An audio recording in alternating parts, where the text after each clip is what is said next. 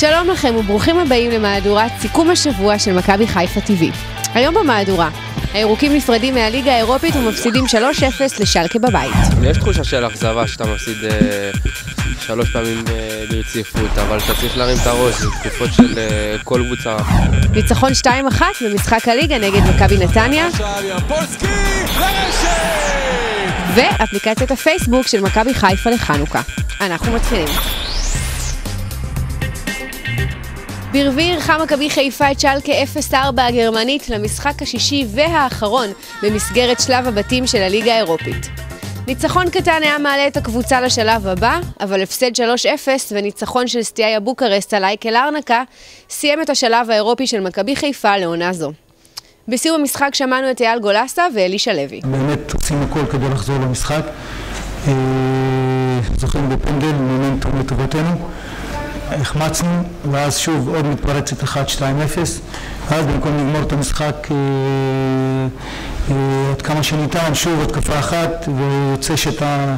המשחק הזה יוצא 3-0, אני חושב שזה משקף, בכל מקרה לא נעים מבחינתנו. אנחנו צריכים להרים את הראש ו... ולהתמקד אך ורק בליגה, אין לנו ברירה אחרת. יש לנו שחקנים טובים ומאמן מצוין שיכין אותנו טוב כבר ליום שני ואני מאמין שנצא מזה.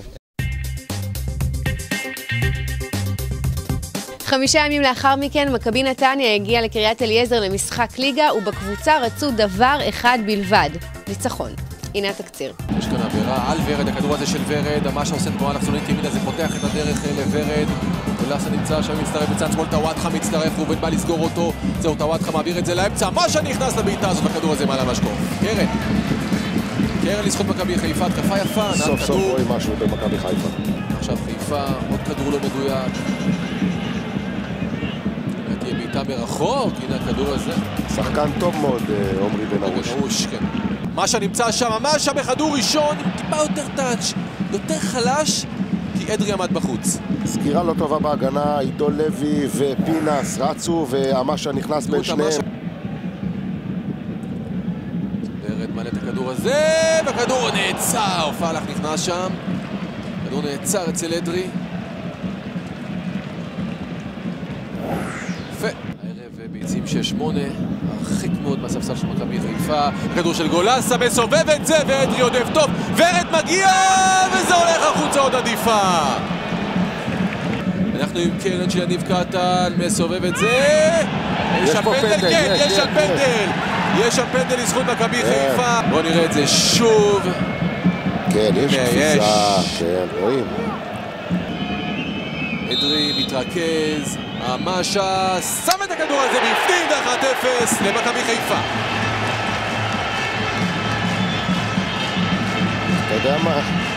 מוצדק, אמיר אדרי, שתי הצלות. רק שנייה, טוואטחה מנסה ליישר את זה, זה מגיע לוורד קטן, החוצה! משה. אומרת ימפולסקי, נגיעה ראשונה בכדור! אדרי הצליח להדוף את זה לקרן.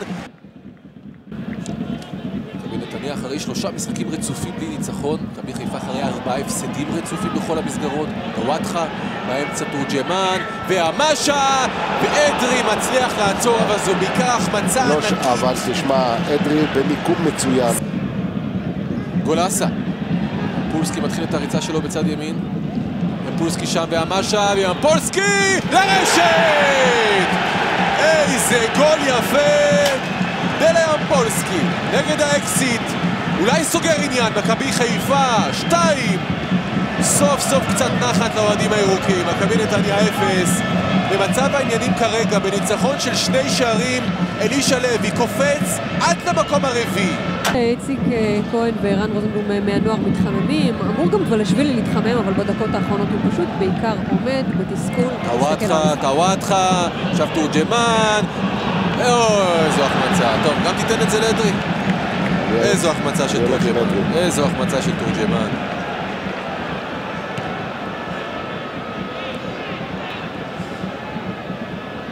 בינתיים קליבת.